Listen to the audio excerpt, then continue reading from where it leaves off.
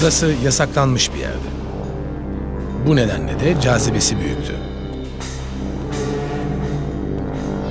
Burası gökyüzünde bir sonsuzluk ülkesiydi. İnsanları başka bir dünyanın insanlarıydı. Ve burada tekerlek sadece dua tekerleği olarak kullanılmaktaydı. Derken onlar geldiler. Batılılardı. Onlar Tibet'i ve ulaşılmaz başkenti Lasa'yı keşfetmek istiyorlardı. Çok azı Tibet'in doğal surlarında onları bekleyen ateş, buz ve şiddetin öfkesinden kurtulabilmişti. Birçok insanın yapamadığını iki kişi yaptı. Bunlardan biri başarıya gizlenerek ulaştı. O bir casustu. Mesleğindeki başarıları bugün bile dünyanın en büyük casusluk başarılarından biri olarak görülür. Ancak hemen hemen unutulmuş gibidir. Diğeri ise bunu güç kullanarak başardı. Geride bütün dünyayı sarsacak kan ve gözyaşından iz bıraktı ve zaferi kendi tarafına çevirdi. İşte Tibet için yapılan bu destansı ve fantastik yolculukların öyküsü.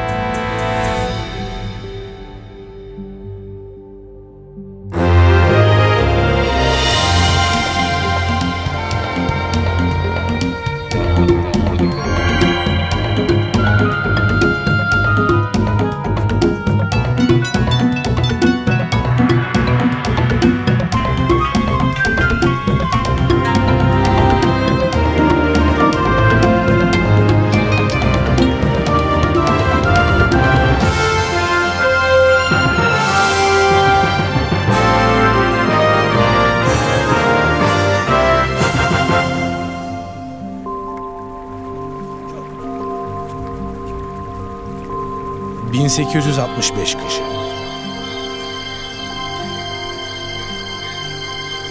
Aşırı yüklü bir kervan... ...Himalayaların karlı geçitlerinden yasak topraklara doğru iner. Buradan çok az insan geçebilmiştir. Yabancıların çoğu ya geri döndürülmüş ya da ölmüştür.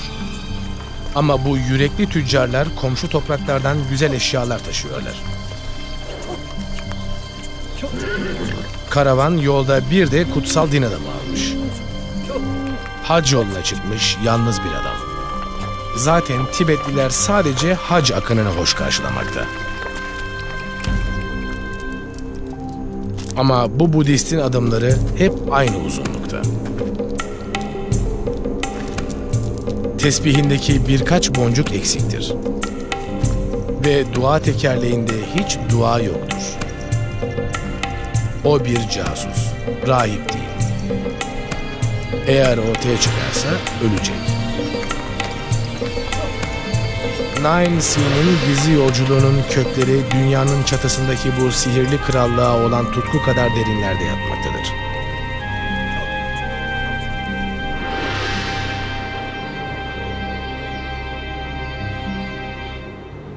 Asya'nın kalbinde kıtaların birleştiği bir noktada yaklaşık 5000 metre yükseklikteki Tibet, Batı Avrupa büyüklüğünde doğal bir kale gibidir.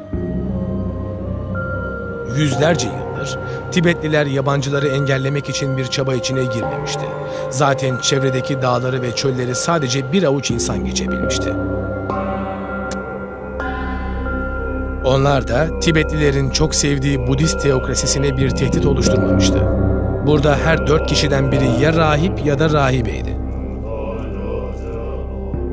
Ama 1800'lü yıllardan itibaren Tibet Asya'daki iki yeni gücün baskısını hissetmeye başladı. Britanya, 1833'ten beri Hindistan'ı kontrol altında tutuyordu ve nüfusunu yavaş yavaş kuzeye, Himalayalara doğru genişletiyordu. Bu arada Rusya da imparatorluğunu doğuya doğru genişleterek Orta Asya'daki topraklara yayılıyordu. Tibet yabancılar konusunda çok az şey biliyordu. Bu iki güç hakkında bildikleri tek şey bunların Budist değil Hristiyan olduklarıydı. Onların yaşam biçimlerinden korktuklarından rahipler ülkesi sınırlarını kapattı. Çelişkili şekilde Batı'nın Tibet'i açmaya çalışmasına neden olan şey ülkenin kendini dışa kapaması olmuştur. Ve bu da insanların Antarktika'yı, Kuzey Kutbu'nun keşfetmek istediği keşifler dönemine rastlar.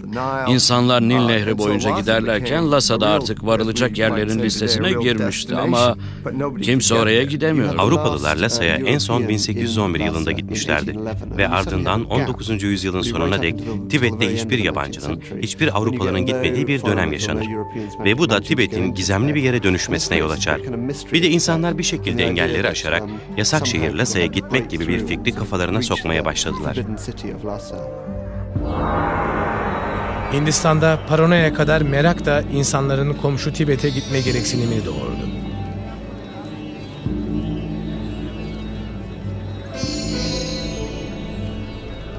Bu da Rusya ile Britanya'nın Orta Asya'nın hakimiyeti için aralarında süren soğuk savaş dönemi olan Büyük Oyun dönemine rastlar. İngilizler Rusların Tibet'te bir köprü başı tutmasından korkuyorlardı. Ruslar burayı Hindistan'ı işgal için bir üs olarak kullanabilirlerdi. Yasak ülke büyük oyunda satranç tahtasının orta karesi haline gelmişti. Burası ne pahasına olursa olsun keşfedilip haritalanacak bir yer olmuştu. Ruslar geliyorlardı ve bu da büyük bir kaygı yaratıyordu. Esas sorun Tibet'in tamamen kapalı olmuş olmasıydı. Bu da İngilizleri bir sorunla karşı karşıya bırakmıştı. Eğer gidip göremezseniz Tibet'in haritasını nasıl çıkarabilecektiniz ki? Britanya'nın Tibet yarışındaki en büyük umudu kraliyet mühendislerindeki bir subay oldu. Thomas George Montgomery, İngiltere'nin Hint alt kıtasının tamamının doğru bir haritasını çıkarmak amacıyla yürüttüğü trigonometrik ölçümler sırasında yerlilerden oluşan ekibin başındaydı. Tibet'e hiçbir beyaz adamın girilmesine izin verilmezken Hintlilerin çoğu zaman serbestçe ülkeye girebildiğini fark etmişti. Belki de bir Hint ajanı casusluk ve ölçümler konusunda eğitilirse Tibet'e tüccar ya da din adamı kılığında girebilirdi.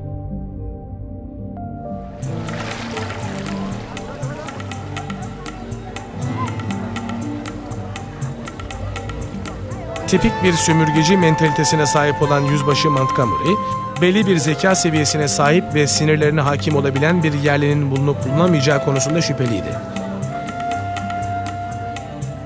Ama planını denemek üzere gerekli izinleri aldı. Böylece casusluk tarihinin en başarılı casuslarından birinin meslek yaşamı hiç beklenmedik bir anda başlamış oldu. O zamanlar 33 yaşında bir okul öğretmeni olan Nine Sin, Himalayaların gölgesinde doğup büyümüştü. Ailesi Tibet'le ticaret yapıyordu ve o da Tibet dilini okuyup yazabiliyordu. Görevi tüm tehlikelerine karşın hemen kabul etti. Nine o tür insanlardan biriydi.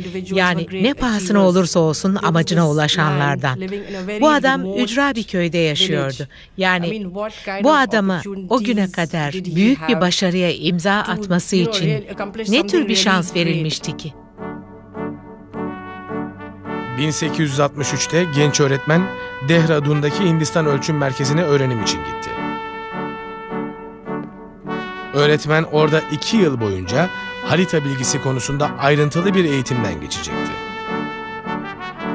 Sekstan ve pusulayı ve yıldızlara bakarak konumunu saptamayı öğrendi. Sonu gelmeyen tekrarların ardından acemi casus eşit uzunluktaki adımlar atmayı öğrendi. Her adımı 80 santim uzunluğunda olacaktı. Yaklaşık 1,5 kilometrede 2000 adım atacaktı. Bu adımların hesabını tesbihiyle tutacaktı. Budist tesbihinde 108 boncuk vardır. Bu da kutsal bir sayıdır. Nine C'nin tesbihinde adımlarının hesabını daha rahat yapabilmesi için 100 adet boncuk bulunacaktı.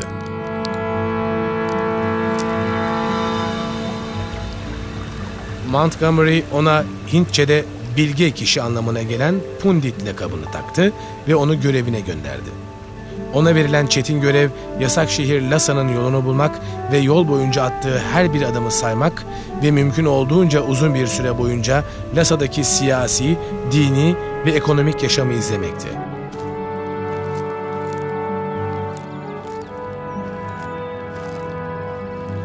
Nine Sin eğer yakalanırsa onun nasıl bir kaderin beklediğini biliyordu. Bu neredeyse kesin ölümdü.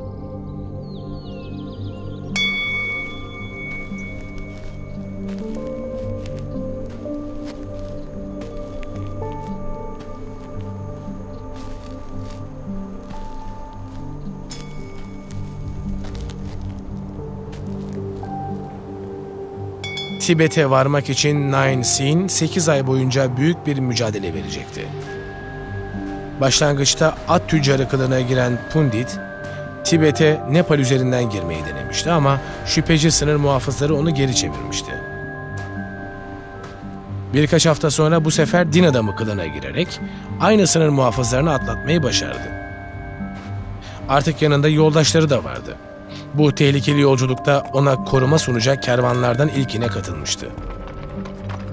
Tibet'in ıssız köşelerinde haydutların sayısı rahiplerden fazlaydı.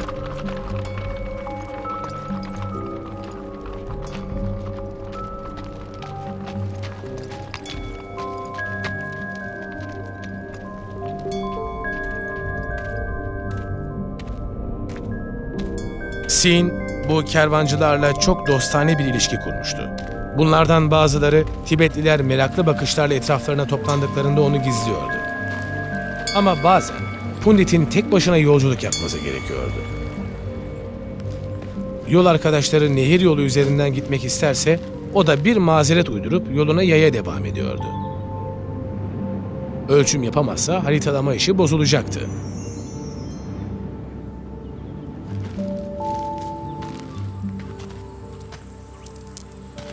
Hissizleşen ayaklarıyla her bir adımını 80 santim olarak attı. Hissizleşen parmaklarıyla o attığı adımları tesbihle hesapladı. Ölçümle ilgili notlarını hiç kimsenin bakmayı aklına getiremeyeceği bir yer olan dua tekerleğinin içindeki zulaya koydu. Genelde tekerleğin içinde kutsal büyülü sözlerin yazılı olduğu bir parşömen tomarı bulunur. Her bir devir Budist duasını cennete doğru döndürür.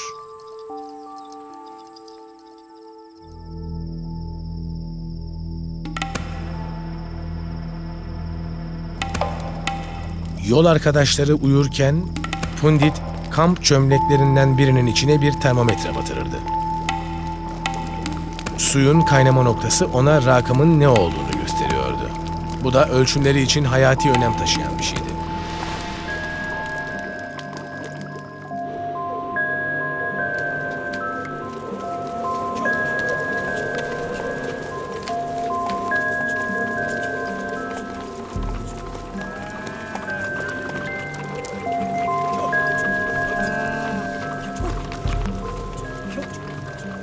Yolculuğun beşinci ayında Pundit endişelenmeye başladı. Kervan Shigatsi şehrine yaklaşıyordu. Burada durup birkaç ay kalmayı planlıyorlardı. Yasak şehre daha çok yolu vardı. Ve Nine Sea'nin parası tükenmek üzereydi. Shigatsi'ye vardığında Bilge Pundit tüccarlara muhasebe bilgisi öğreterek masraflarını karşıladı. Bu arada 3000 kadar Budist rahibin yaşadığı Büyük Taşilinpo Manastırı'ndan hiç de istemediği bir davet aldı. Bu daveti reddetmek şüphe doğuracaktı. Peki, rol yapan bir Hindu, onca gerçek Budist arasında kendini belli etmeden kalabilecek miydi?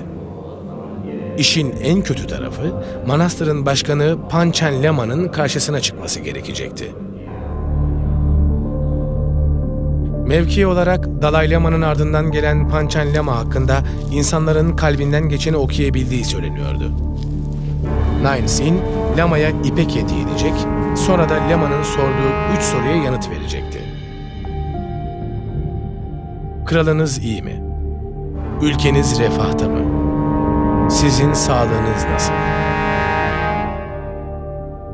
Pundit Panchen Lama'nın 11 yaşında bir oğlan çocuğu olduğunu görünce rahatladı.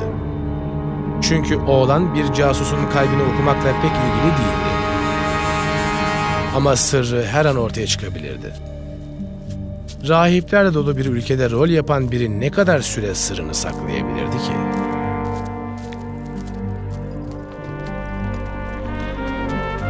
Aralık ayında kervan arkasından gelen Budist bilgeyle birlikte hareket etti. İnsanın beynini uyuşturan adımlarla Pundit ölçümlerine bıraktığı yerden devam etti. Can sıkıntısıyla karışık korku duymaktaydı.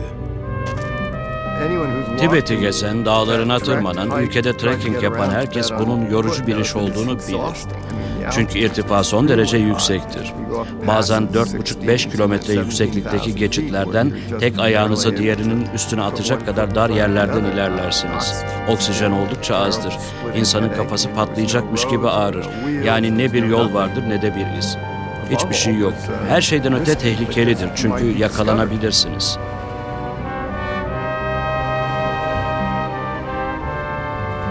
Çoğu zaman bu çetin topraklarda kervanların kabusu gerçeğe dönüşürdü. Bir defasında Pundit at sırtında kaçmak zorunda kalmıştı. Lhasa yolunda her metreyi ölçme planlarını suya düşüren bir kaçış manevrasıydı. O da eksik ölçümleri dönüş yolculuğunda yapmaya karar verdi.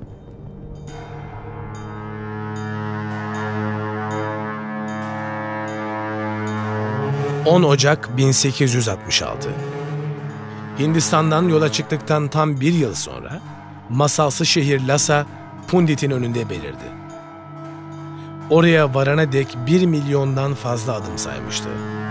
Ama bir casus olarak sürdürdüğü varlığının artık en acımasız, en tehlikeli safhası başlıyordu. Şimdi artık ölümün nefesini ensesinde hissedecekti.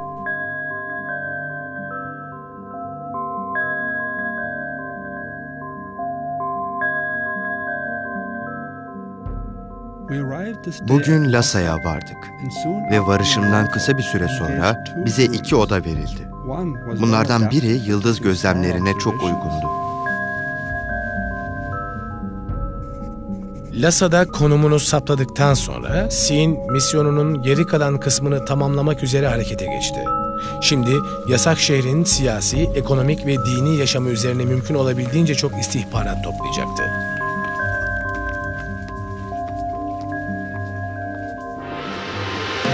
Sin'in odaları şehrin kutsal meydanı Jokang'tan yaklaşık 20 metre kadar ilerideydi. Bu da yapacağı görev için mükemmel bir konumda olduğu anlamına geliyordu.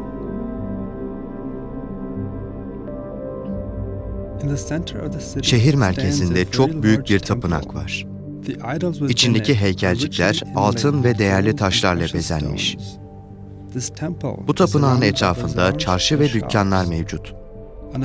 Alçak tepelerden birinde Potala adı verilen büyükçe ve güçlü bir kale var. Burası Lama Guru'nun ikametgahı. Lama Guru bütün Tibet'in başıdır ancak kendi devlet işlerine karışmaz. Ona koruyucu kutsallıkta biri gözüyle bakılır ve asla ölmediği ancak istediği herhangi bir bedenin içine girdiği düşünülür. Lhasa'da çok fazla düzen ve adalet olmadığını gözlemledim.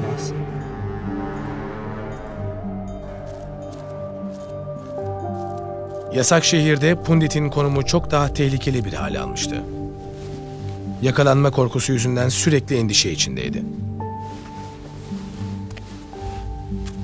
Bir keresinde sahte olarak beyan ettiği memleketten gelen tüccarlarla karşılaşınca sırrı da ortaya çıktı. Ama bir şekilde onları kendisini ele vermemesi konusunda ikna etti.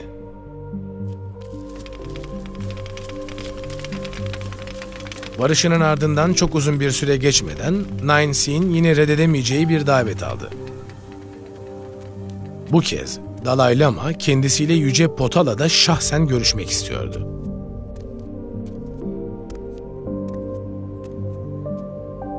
Ve bir kez daha Pundit kendisini insanın içini okuyan yaşayan bir tanrının karşısında bulacaktı. Ama bu kez de karşısına çıka çıka 13 yaşındaki bir oğlanın gözleri çıktı.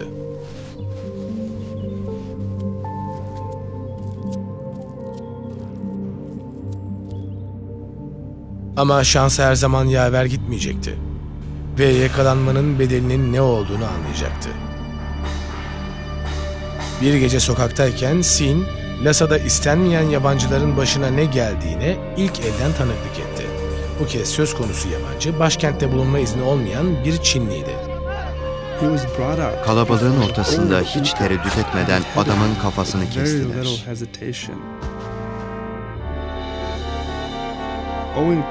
Korkuya kapıldım ve oturduğum yeri değiştirip halk arasına çok nadir karışmaya başladım. Kendisini Lasa'ya getiren kervanın Tibet'ten ayrılmak üzere harekete hazır olduğunu öğrenince memleketine doğru 800 kilometrelik yürüyüşün başlayacağını anladı.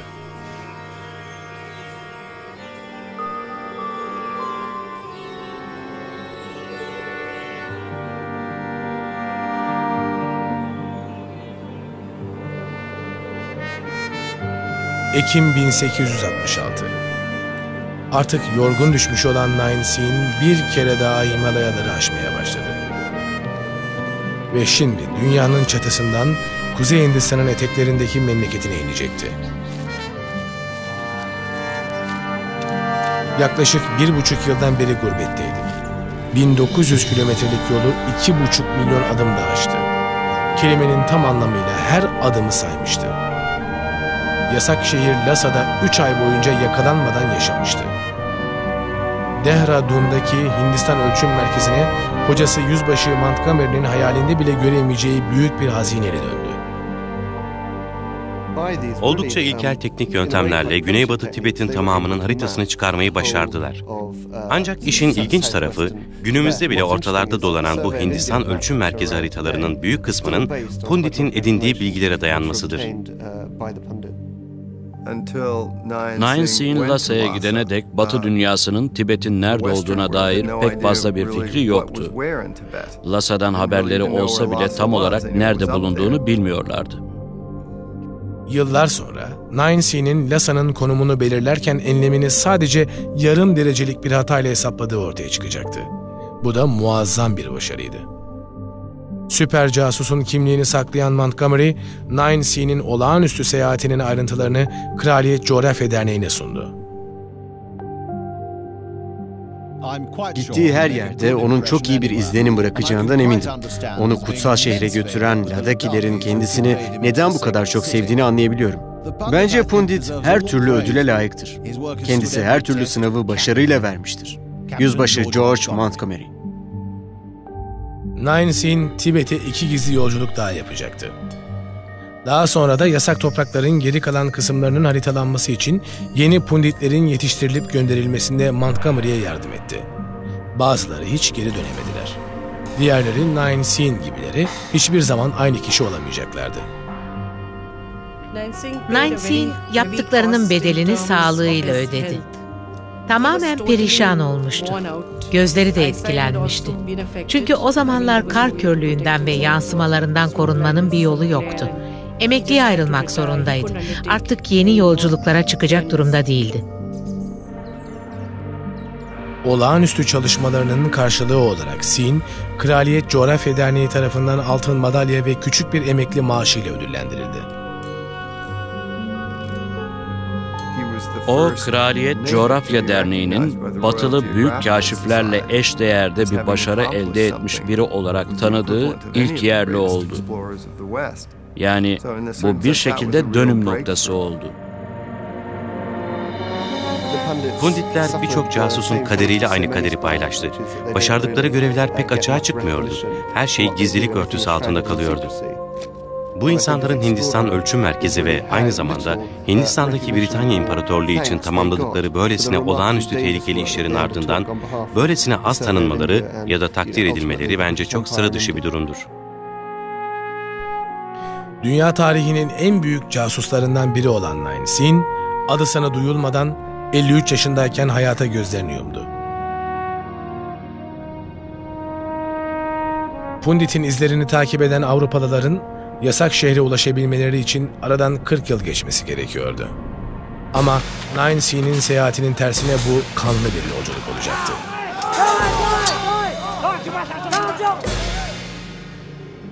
31 Mart 1904 Deniz seviyesinden 3000 metre yükseklikteki ıssız bir düzlükte iki kuvvet birbirini büyük bir ihtiyat içinde izliyordu. Bu insanlar birbirlerinden doğal bir taş duvarla, kültürel ve dinsel farklılıkların trajik uçurumuyla ayrılmışlardı. Savunmadakiler Tibetli köylüler ve rahiplerdi. Yüz yıl öncesinden kalma silahlarla kuşanmışlardı. İşgalciler 20. yüzyılın yeni ölüm makineleriyle donanmış Britanya kuvvetleriydi. Birazdan gelecek 4 dakikayı izleyen herkes gördüklerinden derinden etkilenecek. Olayın sorumlusu olan kişi yol açtığı fırtınayla değişime uğrayacak.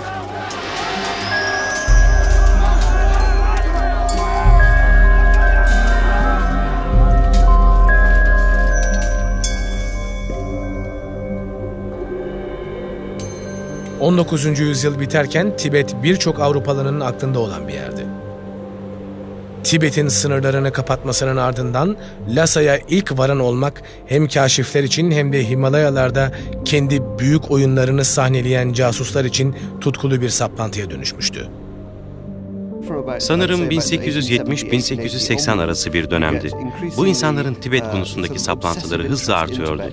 Tibet geçit vermeyen, yasaklanmış, yabancı bir Shangri-La olarak görülüyordu. Ve sanırım 19. yüzyılın sonlarında yüzlerce, binlerce İngiliz subayı Himalayalarda dolaşıyordu. Bunların hepsinin amacı Lhasa'ya ilk varan olmaktı. Yasak şehre 1811'den beri hiçbir Avrupalı adım atmamıştı. Ve 19. yüzyılın son dönemlerinde Lasa'ya ilk varan olmak diye bir yarış başlatılmış oldu. Ve çok insan bu yarışa girdi. Çok insan kaybetti. Rus albay Nikolay Prejavalski beş kez başarısız girişimde bulundu. Üstelik ağır silahlarla donatılmış kazaklar kendisine eşlik ediyordu. Amerikalı diplomat ve araştırmacı William Reichel, Çinli hacı kılığına girmişti ama o da iki kez başarısız olmuştu. İsveçli ünlü kaşif Sven Hedden de hacı kılığına girdi ama Lasa'ya 5 günlük yürüyüş mesafesinden geri döndü. İngiliz misyoner Anne Taylor da Çinli rehberi tarafından ihanete uğrayıp tutuklandığında Lasa'ya 3 günlük yürüyüş mesafesi kadar yaklaşabilmişti. Kanadalı Suzy Reinhardt'ın öyküsü en trajik olanıdır. Doktor ve misyoner kadın bebeğinin yüksek irtifada hastalıktan ölmesine tanıklık etti. Sonra da Hollandalı kocası Tibetli yetkililer tarafından geri dönmeye zorlanınca haydutlar tarafından öldürüldü. 19. yüzyılın sonlarında Tibet, Batılılar tarafından 40 yıl içinde gerçekleştirilen 10 bin kadar saldırıyı geri püskürtmeyi başardı. Ancak Orta Çağ silahlarıyla modern dünyayı daha fazla engelleyemezlerdi.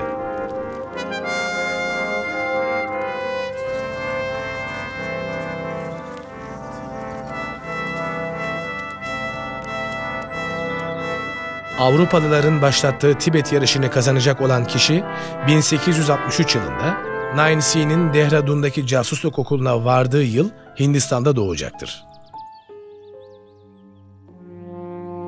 Bir İngiliz ordu subayının oğlu olan Francis Edward Young Husband, evde kalmış iki halası tarafından büyütülmek üzere 4 yaşındayken İngiltere'ye gönderilecek ve bu dindar iki kadın çocuğu sürekli olarak dövecekti.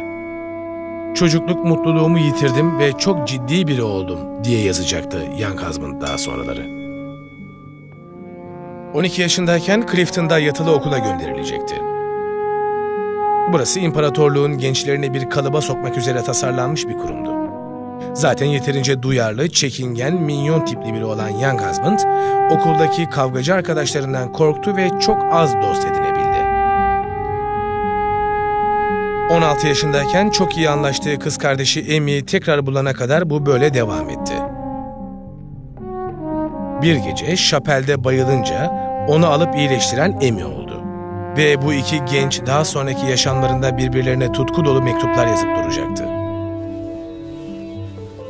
Clifton'ın ardından askeri akademiden mezun olduktan sonra Emmy'yi endişeler içinde geride bırakıp Hindistan'a doğru yola çıktı. O da babası gibi King's Dragons'un kuzey cephesine gidecek ve o büyük oyunda görev alacaktı. Utangaç ama oldukça tutkulu biri olan Young Husband doğal bir büyük oyuncuydu. İmparatorluğun doğruluğuna tüm kalbiyle inanıyordu ve Rusya'nın Asya üzerindeki tertiplerine karşı endişelerini hep dile getiriyordu. Ancak askerlik yaşamı genç adama çok sıkıcı geliyordu ve bir kere daha aşırı ciddiyeti yüzünden arkadaşlarından soyutlanmıştı. Francis kendisini hep çocukluk yıllarının kahramanı olan Robert Shaw gibi bir hayat sürerken hayal etti. Renkli bir serüvenci ve çay üreticisi olan Shaw, Himalayaların ötesindeki birçok egzotik ülkeye yolculuklar yapmıştı. Kraliyet Coğrafya Derneği tarafından bir altın madalya almıştı ve yerli kostümleri giymekten hoşlanırdı.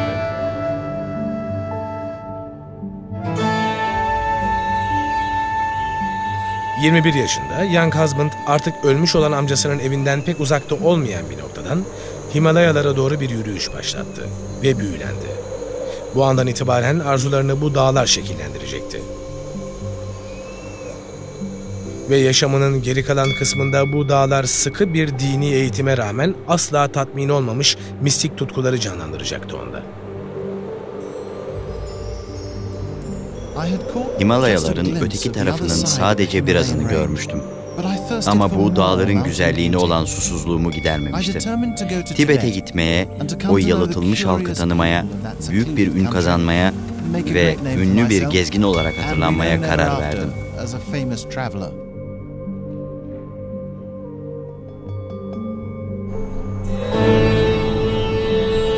Francis Young Husband'a ünü ilk tattıracak olan Tibet değil Çin oldu.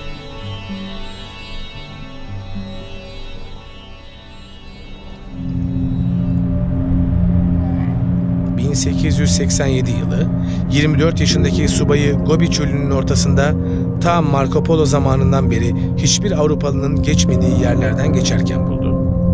Çin'den Hindistan'a uzanan yeni bir yol bulacağı konusunda üstlerini ikna etmişti.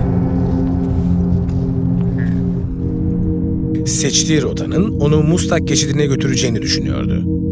Burası Hindistan'la Çin arasındaki su bölümü çizgisiydi ve geçilmez olduğu varsayılıyordu dünyanın ikinci en yüksek noktası olan K2'nin gölgesi altında bu küçük adam bir kere daha kendini ruhsal olarak dağların etkisinde hissetti. Bunu bir kere gördükten sonra diye yazacaktı.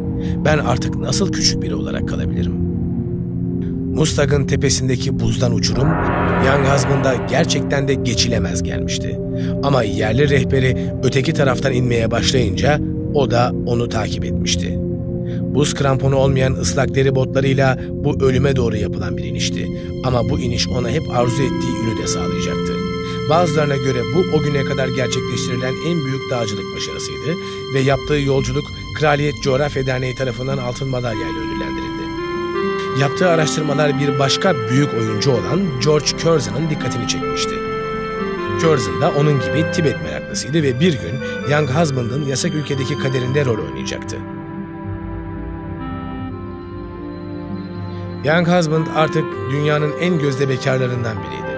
Ama sadece kağıt üzerinde. Kız kardeşi dışında çevresindeki bütün kadınlar ona acı veriyordu. Ve en büyük arzusu herkesten kaçmak ve Himalayalarda mümkünse yalnız başına yaşamaktı.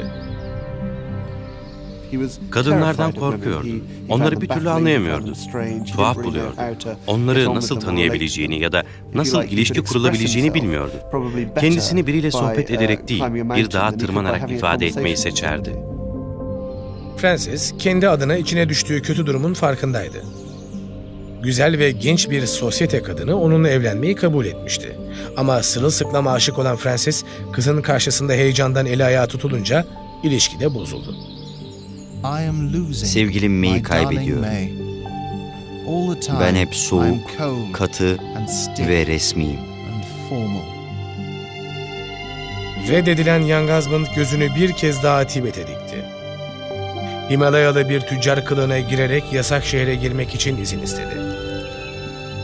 Ama amirleri onun serüvenlerinden artık bıkmışlardı. Ve Tibet'e macerasını gerçekleştirebilmek için 15 yıl beklemesi gerekecekti.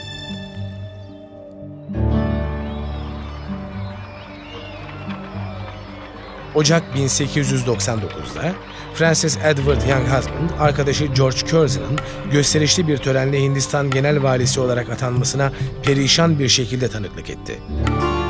Curzon'ın yıldızı yükselirken kendi yıldızı inişe geçmişti. İlk zamanlardaki şöhreti tutarlı bir kişiliği olmadığı gerekçesiyle gölgelenecekti.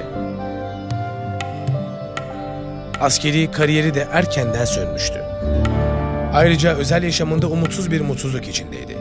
Kendisiyle hiçbir zaman cinsel ilişki kurmayacağına söz veren yaşlı bir kadınla evlenmişti ama her nasılsa çift çocuk yapabilmeyi başardı. Ancak evlilik asla mutlu bir evlilik olmadı. 40 yaşına yaklaştığında bir zamanların bu büyük kaşifi için artık gelecek çok parlak değildi. 30'lu yaşlarının sonunda kariyerindeki ilerlemenin neredeyse durduğu bir noktaya gelmişti. İşte tam o sırada eski dostu olan Hindistan Genel Valisi Lord Curzon tarafından bir davet aldı. Ondan Tibet'e küçük bir keşif yolculuğuna başkanlık etmesini istedi. Curzon, Rusya'nın potansiyel planları konusunda her açıdan paranoid bir tepki gösterirdi. Tibet onun için önemliydi. Çünkü İmparatorluk Rusyası aşağıya inme durumuna girerse bir şekilde Tibet'i alabilirdi de. O zaman da Rus ayısını ansızın Britanya Rajı'nın kapısında bulacaklardı. Ancak 13. dalaylama, ülkeyi İngiliz ticaretine açmayı, Curzon'ın temsilcilerinin sınırların ötesine geçmesini ve hatta Curzon'ın mektuplarını açmayı bile reddetmişti. Vali daha kuvvetli önlemler almanın vaktinin geldiğini düşünüyordu ve dostu da bunu bütün kalbiyle kabul etti. Rahiplerin hem Tibet'in hem de sınırlarındaki Britanya bölgelerinin zenginliğini egoistçe engellemelerinin önüne geçmek için kuvvetlerinin kırılmasını öneririm. Francis Young. Husband.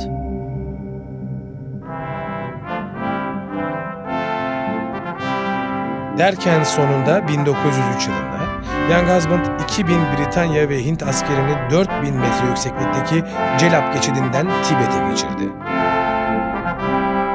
Onların arkasından da 10 bin ameliden oluşan düzensiz birlikler ve yeni yüzyılın en büyük olaylarından birinin peşinden koşan bir avuç İngiliz gazeteci yürüyordu. Hizmette bulunanlar arasında çoğu bu yolculuk sırasında ölecek olan 6 deve, 3000 midilli, 5000 Tibet öküzü ve bufalo, 5000 boğa ve 7000 katır vardı. Bütün bu kervan Hindistan'ı modern dünya göbek kordonu gibi bağlayan telgraf tellerini takip ediyordu.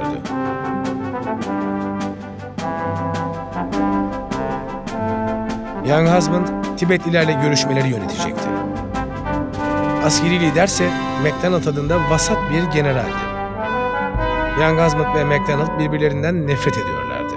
Bunun da yaklaşan trajedide rolü olacaktı.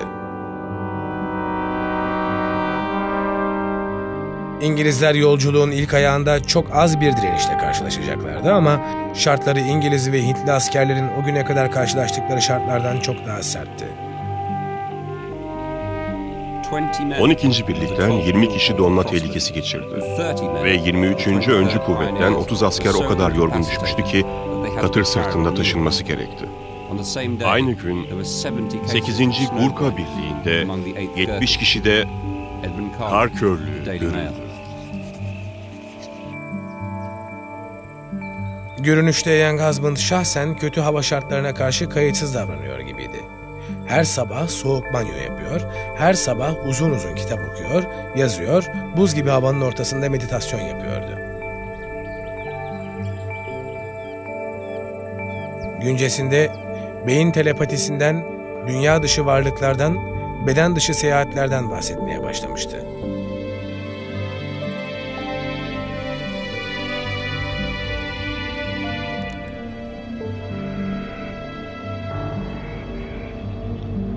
Yolculuğun dördüncü ayında misyon Guru şehrine yaklaştı.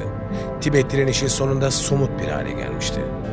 Çorak bir düzlüğün tam ortasına inşa edilmiş geniş bir duvarın arkasında 1500 kadar Tibet askeri siper almış bekliyordu. Sayıları gelişmiş İngiliz askerlerinin sayısından oldukça azdı. Ancak burası 300 yıldır onların eviydi.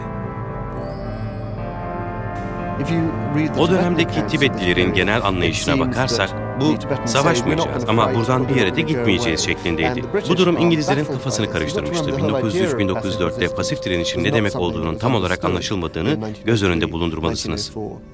Ve Tibetlilerin tepkisi sadece lütfen buradan gidin şeklindeydi. Young Husband'ın tepkisi de konuşmamız gerekiyor şeklinde olmuştu. Ve bu argümanla sürekli ileriye gitmişti. Bu da sonunda korkunç bir trajediye yol açmıştı. Bütün bu durum zavallı insanlar açısından anlaşılamaz bir şeydi. Geri çekilmek için hiçbir emir almamışlardı. Tek bir vücut halinde toplandılar. Sayısal üstünlükleri onları etkilemişti. Tabii sahip olduğumuz avantajlar hakkında hiçbir fikirleri yok. Percival Landon, The Times Londra. Benim görüşüme göre Tibetliler aslında korkunç bir gücün karşısında olduklarını biliyorlardı. Bence bunların gerçekten de Britanyalılara karşı direnebileceklerini zannedecek kadar saf olduklarını söylemek yanlış bir şey olur. Öldürüleceklerini bilseler bile buna karşı çıkmaktan başka bir seçenekleri bulunmuyordu. Tibetli general davasını savunmak üzere atına bindi. Yangazm'ın da dönmesi ve sınıra çekilip pazarlığı orada yapması için yalvardı. Ancak Yangazm'ın etkilenmemişti. Generale silahları bırakması için 15 dakika süre tanıdı.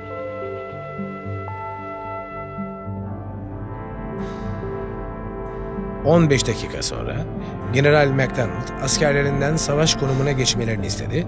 Çünkü Tibetlilerin karşılarında makineli tüfekleri, modern tüfekleri ve büyük topları görünce kendi silahlarını hemen bırakacaklarını varsayıyordu.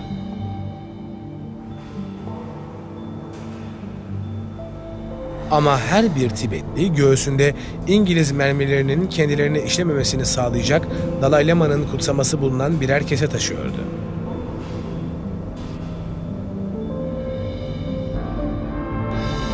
MacDonald askerlerine yaklaşma ve Tibetlileri silahsızlandırma emri verdi.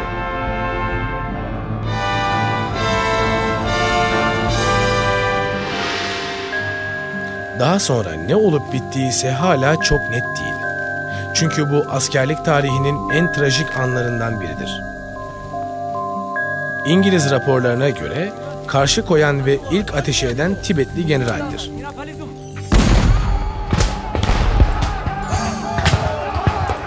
İngilizler hemen korkunç silahlarıyla tek vücut halindeki Tibetli askerlerin üstüne ateş etmeye başladılar. Tibetliler duvarın üzerinden yağarlar. Bu arada ağır toplar ve otomatik silahlar onları dalgalar halinde tutar.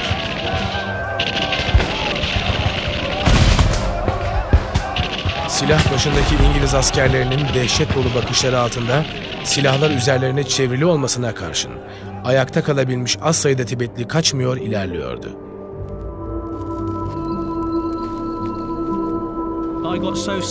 Katliam midemi o kadar çok bulandırdı ki ateşi kestim. Halbuki generalin emri olabildiğince çok büyük kayıp verdirmekti. Teğmen Huddle, mühimmat birliği kumandanı. İmkansız olan olmuştu. Dualar, büyüler ve mantralar. Kutsal din adamlarının en kutsalı onlara yardım edememişti. Sanki tanrıları onları düş kırıklığına uğratmış gibi başları öne eğik yürüyorlardı.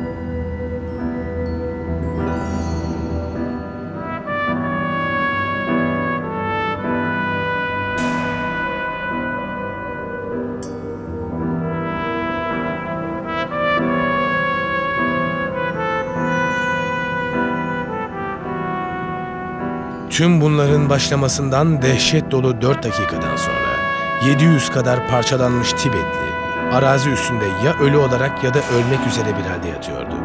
Hiçbir işlerine yaramayan muskaları da etrafa saçılmıştı. 20 yıl boyunca orduda hizmet veren ancak hiçbir savaş görmeyen Francis Young Husband dehşete düşmüştü. Korkunç ve dehşet uyandıran bir şeydi diye yazacaktı daha sonraları. Yaşadıkları İngiliz duyarlılığının anlatmasına el verdiğinden çok daha dehşet verici olmalıydı.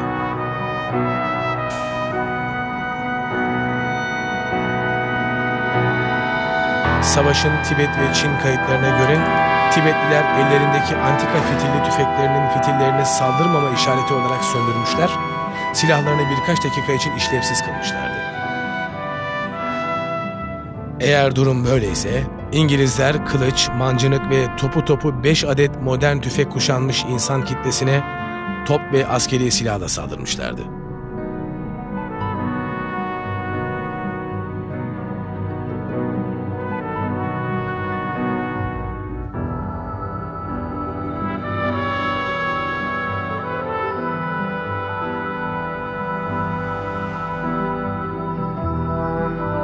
İngilizler yaralı Tibetlileri kurtarmak için bir arazi hastanesi kurdular. Alçakça saldırının ardından gösterilen bu nezaket karşısında şaşkına dönen Tibetliler, ruhları ve metanetleriyle kendilerini ele geçirenlerin dostluklarını kazandılar. Savaşın henüz ilk dakikalarında bir elini kaybeden Daily Mail muhabiri Edmund Candler şöyle yazmıştı. Sürekli olarak neşeli bir halleri vardı ve ameliyata girme konusunda en ufak bir tereddüt göstermiyorlardı. Ve ağrıya tepki vermiyorlar, hiç korkmadan kloroform alıyorlardı. Tuna'daki hastaneyi ziyaret eden herkes oradan Tibetlilere karşı daha da artan bir saygıyla ayrılıyordu.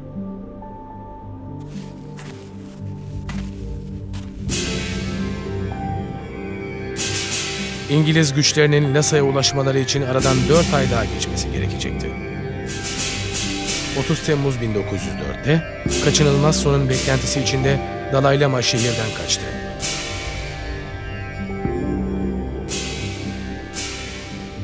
Beş gün sonra İngilizler yasak şehre girdi. Bir zamanlar Lhasa'ya bir casus olarak girmeyi uman Young Husband şimdi bir ordunun başında gidiyordu.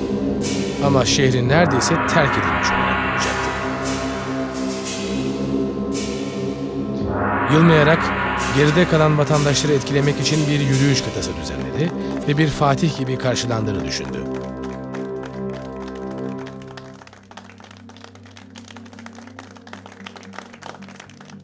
Onu işte böyle alkışlıyorlardı. Young Husband kendisinin böyle karşılanmasını çok güzel bir işaret olarak gördü. Daha sonra buna baktığımda bazı Tibetlilerle bu konuda konuştum ve onlardan bunu kötü ruhları kovmak için yaptıklarını öğrendim. Şöyle yapmışlardı. Bu yüzden zannederim Young Husband bu insanların mutluluktan dizilip kendisini alkışladığını düşündü. İşte bu da kültürel farklılıktı.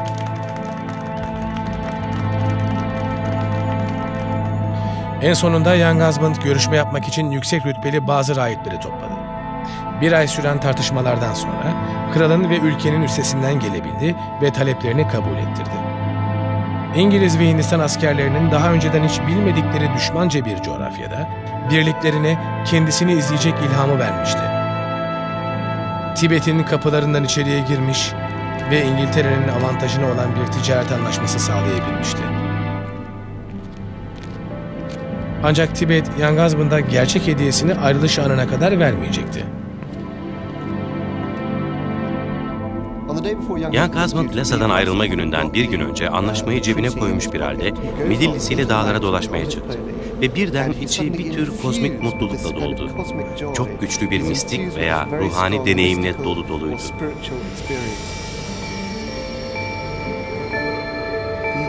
Duyduğum o coşku büyüdü, büyüdü ve derken beni korkutacak denli dayanılmaz bir şiddete ulaştı. Bundan sonra artık hiçbir insana karşı art niyetli olmayacak veya düşmanlık duyamayacak bir hale geldim. Tüm doğa ve insanlık ferahlatıcı bir nura büründü. Lasa'dan bir saatlik ayrılmak hayatımın geri kalan kısmına bedeldi. İçimde bütün dünya için bir aşk kaynıyordu.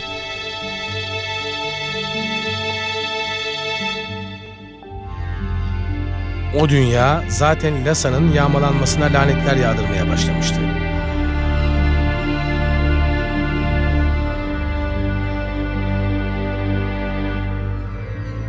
İnsanoğlunun haritalayamadığı ve resimleyemediği bir yasak şehir kalmamıştı artık. En azından bir şehrin ulaşılamaz kalmasına izin veremez miydik? Kentler, The Daily Mail. Hatta Lord Curzon bile Lasa'nın alınması karşısında sarsılmıştı. Göz koyduğunuz gelinin bekaretini bozmuş olmamızdan dolayı kendimden utandım diyebilirim diye yazacaktı İsveçli kaşif Sven Hedden'a. Hemen hemen o andan itibaren Londra kendini Young Husband'ın işgalinden soyutlamaya başladı. Kısa bir sürede işgali tamamen reddedecekti. Birkaç yıl sonra Londra'da liberal bir hükümet iktidara geldi. Ve onun gerçekleştirdiği seferden 3 yıl sonra imzalanan yeni bir anlaşmayla Young Husband'ın Lhasa Anlaşması'yla sağlamış olduğu bütün imtiyaz ve haklar geri alınmış oldu. Ve en nihayetinde Young Husband'ın Tibet işgali siyasi bakış açısıyla İngiltere'ye pek fazla şey kazandırmamış oldu. Tibet'in kendinden öte, bizzat Francis Young Husband, elde ettiği içi boş zafer ve yarattığı trajediyle sonsuza kadar değişmiş olarak ortaya çıkacaktır. Dış dünya açısından o iyi bir emperyalist, taşralı bir yönetici Kraliyet Coğrafya Derneği'nin başkanı ve Everest'te yapılan ilk dört çıkış macerası